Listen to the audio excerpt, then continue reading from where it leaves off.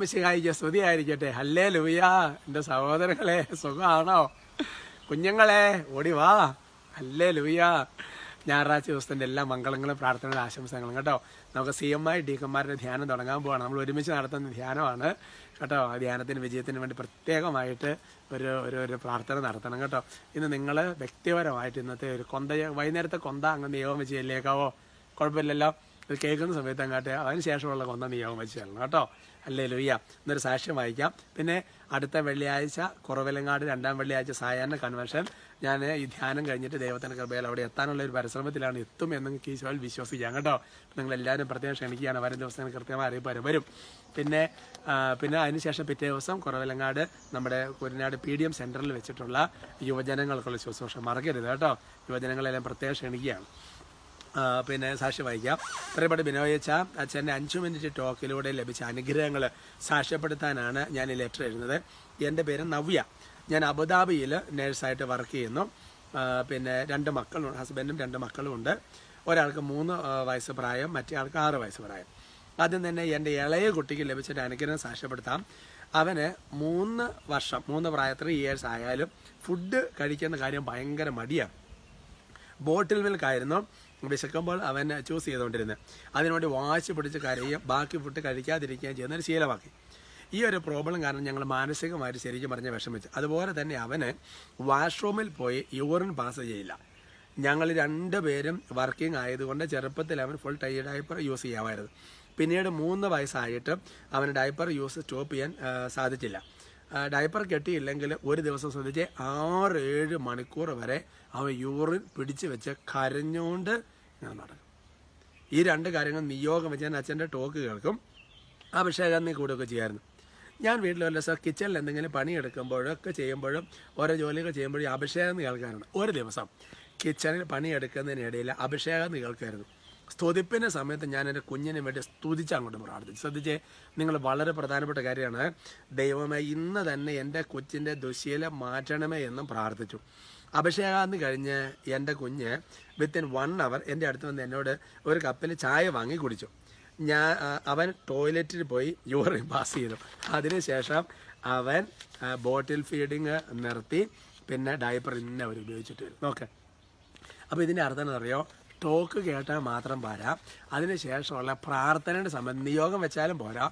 ആ പ്രാർത്ഥന സംബന്ധിച്ച് ശരിക്കും സ്തുതിച്ച് ആരാധിച്ച് അങ്ങനെ അങ്ങ് ചെയ്യുമ്പോൾ ദൈവത്തിന്റെ ഒരു കൃപ ജീവിതത്തിൽ വ്യാപരിക്കും. അത് അഭിഷേകാന്തി കൂടുമ്പോഴും ചെറിയ ടോക്ക് കൂടും സംബന്ധിക്കുമ്പോഴും എല്ലാം അങ്ങനെ ചെയ്യണം കേട്ടോ. നമുക്ക് എന്തായാലും ഇങ്ങനത്തെയുള്ള കുഞ്ഞുങ്ങൾക്കൊക്കെ വേണ്ടി പ്രത്യേകമായിട്ടുന്ന ഒരു ബ്ലെസ്സിങ് പ്രയർ നടത്താം. ഇന്നത്തെ നമ്മുടെ വിഷയത്തിന്റെ തലക്കെട്ട് അപ്പസ്വരപ്പെടുത്ത ആറ് പതിനഞ്ച് become Acts chapter six verse fifteen. അതിങ്ങനെയാണ്. ആ സംഘത്തിലുണ്ടായിരുന്നവർ അവന്റെ നേരെ സൂക്ഷിച്ചു നോക്കി. അവന്റെ മുഖം ഒരു ദൈവദൂതന്റെ മുഖം പോലെ കാണപ്പെട്ടു. കുഞ്ഞുങ്ങളെ ആരുടെ എന്ന് പറ? വിശുദ്ധ എസ്തപ്പാനോസ് കേട്ടോ? വിശുദ്ധ സ്റ്റീഫൻ സെന്റ് സ്റ്റീഫൻ. എന്റെ പ്രിയപ്പെട്ട സഹോദരൻ ശ്രദ്ധിക്കണം. അതായത് ഇന്നത്തെ വിഷയത്തിന്റെ തലക്കേട് പറയാൻ മറന്നുപോയി അതിനെന്നറിയോ നമ്മുടെ മുഖഭാവം എങ്ങനെയാണെന്നുള്ളത്. നമ്മൾ നോക്കിയേ നമുക്ക് രാവിലെ എഴുന്നേരിക്കുമ്പോൾ ഒരു മുഖഭാവം ദേഷ്യം വരുമ്പോൾ വേറൊരു മുഖം സങ്കടം വരുമ്പോൾ വേറൊരു മുഖഭാവം അല്ലേ? മൂഡ് ഇങ്ങനെ ചേഞ്ച് ചെയ്യുന്ന വെച്ചാൽ മുഖമായി ചന്ദ്രൻ ഇങ്ങനെ പൂർണ ചന്ദ്രൻ ഉദിച്ച ചന്ദ്രൻ പിന്നെ തേങ്ങാപ്പൂൾ പോലെയൊക്കെ ഇരിക്കുന്ന പോലത്തെ ഒരു അവസ്ഥയാണ് എന്റെ പ്രിയപ്പെട്ട സഹോദരങ്ങളെ വാസ്തവത്തിൽ അതായത് ഇനി നിങ്ങൾ ചിന്തിക്കണം. ഈ സെന്റ് സ്റ്റീഫന്റെ വിശുദ്ധ അസ്തപ്പാനോസിന്റെ മുഖം ദൈവോദൂതന്റെ മുഖം പോലെ കാണപ്പെട്ടത് എപ്പോഴാ? എന്റെ സഹോദരങ്ങളെ അവനെ പിടിച്ച് ന്യായാധിപ സംഘത്തിന് മുമ്പിൽ കൊണ്ടുപോയിട്ട് അതുപോലെ എല്ലാ വശം തന്നെ ആക്രമണങ്ങളും അവസ്ഥകളും വരുന്ന സമയത്ത് അവന്റെ മുഖം ഒരു ദൈവദൂതന്റെ മുഖം പോലെ കാണപ്പെട്ടു പ്രാർത്ഥന കഴിഞ്ഞിട്ട് ഇറങ്ങി വരുമ്പോൾ ദൈവദൂതന്റെ മുഖം പോലെ കാണപ്പെട്ട പാത്രം പോരാ.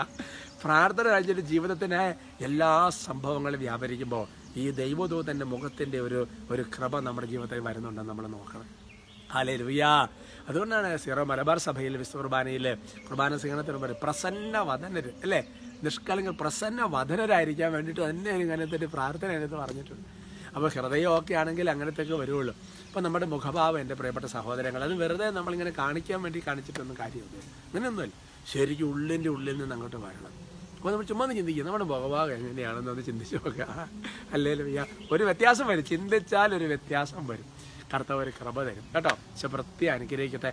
ഒറ്റ കാര്യം ഓർക്കുക. സഹനത്തിന്റെ നടുവിലാണ് ഇങ്ങനെ പ്രശോഭിക്കുന്ന ഒരവസ്ഥ വരുവുള്ളൂ എന്ന് കൂടെ മറക്കരുത്. കേട്ടോ? സഹനം വിട്ട് കളയരുത്. കൊച്ചുദാസിയുടെ മുഖം എന്നെ ശോഭിക്കാൻ കാരണം അൽഫോൺസാമയുടെ മുഖം എന്നെ ശോഭിക്കാൻ കാരണം അല്ലേ? എസ്തപ്പാനസിന് മുഖം എന്താ ശോഭിക്കാൻ കാരണം? സഹനം. പ്രൈസ് ലോർഡ് നമുക്ക് ഒരുമിച്ച് ശ്രദ്ധിക്കാം ഈശോയെ ഞങ്ങൾ അങ്ങേ ആരാധിക്കുന്നു സ്തുതിക്കുന്നു. നല്ല ദിവസത്തിൽ ഞങ്ങൾക്ക് ഒരുമിച്ച് സംസാരിക്കാൻ മിണ്ടാൻ പറയാൻ പ്രാർത്ഥിക്കാൻ വചനം കേൾക്കാൻ സാക്ഷ്യം കേൾക്കാൻ ദൈവത്തെ മഹത്വപ്പെടുത്താൻ സ്തുതിക്കാൻ ആരാധിക്കാൻ ഇതുമാത്രം കറബയൊരുക്കി വ്യത്യസ്ത സ്ഥലങ്ങളിൽ ഞങ്ങളൊരു വീട്ടിലെ അംഗങ്ങളെ പോലെയുള്ള നന്ദി പറഞ്ഞ് പ്രാർത്ഥിക്കുന്നു. കർത്താവായ ദൈവം ഈ ദിവസങ്ങളിൽ എന്നോട് മധ്യസ്ഥ പ്രാർത്ഥന ചോദിച്ച് ഓരോരുത്തരും പ്രത്യേകം അനുഗ്രഹിക്കുകയാണ്. ഓസ്ട്രേലിയയിൽ നിന്ന് യു കെയിൽ നിന്ന് പല സ്ഥലങ്ങൾ ഇന്ത്യയിൽ നിന്നൊക്കെ പല സ്ഥലങ്ങളിൽ നിന്ന് പ്രാർത്ഥിക്കുക എല്ലാവരും അനുഗ്രഹിക്കുക എല്ലാവരും മനസ്സിൽ വെച്ചുകൊണ്ട് ആശീർവദിക്കുക കർത്താവ് കുഞ്ഞുങ്ങൾ പ്രത്യേകിച്ച് ഇങ്ങനത്തെയൊക്കെയുള്ള ഏതെങ്കിലുമൊക്കെ തരം ഞെരുക്കങ്ങളിലും ബുദ്ധിമുട്ടുകളും കടന്നു പോകുന്ന കുഞ്ഞുങ്ങൾക്ക് വേണ്ടി ആശീർവാദം സ്വീകരിക്കുന്ന മാതാപിതാക്കന്മാരുടെ വിശ്വാസത്തെ പരിഗണിച്ച് കുഞ്ഞുങ്ങളുടെ അവസ്ഥ അങ്ങനത്തെ അവസ്ഥകളിലെ മാറി ഒരു കൃപയുടെ അവസ്ഥ ഉണ്ടാകട്ടെ എന്ന് ഈശോയുടെ നാമത്തിൽ അനുഗ്രഹിക്കുന്നു. നിങ്ങളെ നിങ്ങളുടെ കുടുംബങ്ങളെ ആശീർവദിക്കുന്നു. നിങ്ങളുടെ നിയോഗങ്ങളെ ആശീർവദിക്കുന്നു. കർത്താവ് നിങ്ങൾക്ക് അഭയവും കോട്ടയമായിരിക്കട്ടെ. ഈ ഡീക്കന്മാരുടെ ധ്യാനത്തിന് വേണ്ടി പ്രാർത്ഥിക്കാൻ നിങ്ങളുടെ ജീവിതത്തിൽ അനുഗ്രഹം ഉണ്ടാകട്ടെ. ഇപ്പോഴും എപ്പോഴും എന്നേക്കും. അമേൻ